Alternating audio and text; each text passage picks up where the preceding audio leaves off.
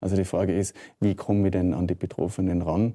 Was kann ich denn machen, dass die sich in ihrem Bereich unter Anführungszeichen outen können, ohne dass sie gleich ähm, Nachteile für sich irgendwie äh, erleben oder erkennen wollen. Weil was wir auch gut wissen, ist, dass diese Kinder sich deswegen sehr häufig nicht zu erkennen geben, weil sie Nachteile für sich und die Familie fürchten.